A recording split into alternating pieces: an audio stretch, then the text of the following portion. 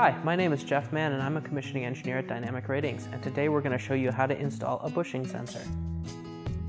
To install your bushing sensor, you will need Seal-Tight to run to your C1 test tap, a Phillips head screwdriver, the actual sensor, a multimeter, rags, and grease for your O-ring. To install your sensor, you'll first need to verify that your transformer is out of service and grounded properly. Then you'll need to remove your C1 test tap and verify with your multimeter that you have an open connection between the base of your bushing and the center pin. To start the installation of the actual sensor, you need to remove these three pan head screws on the back of the sensor.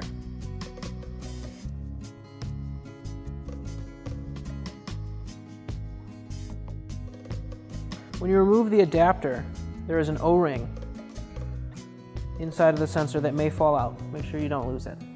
Also, these three screws all have locking washers. Make sure you don't lose those as well.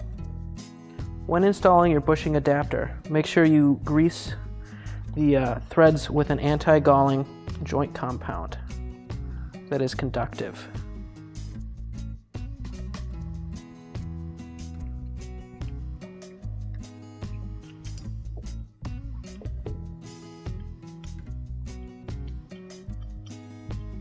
Screw in the adapter until it's hand tight.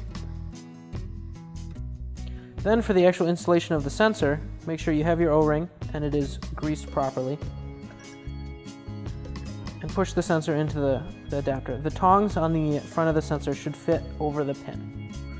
Then screw in your three pan head screws.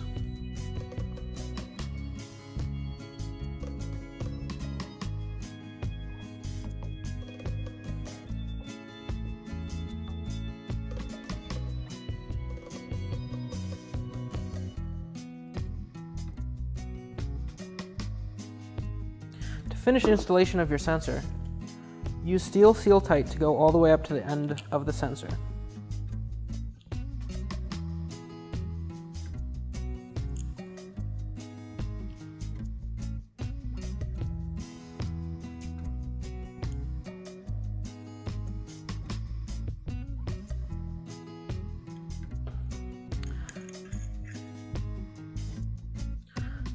Tighten down the nut and then you're done installing your sensor.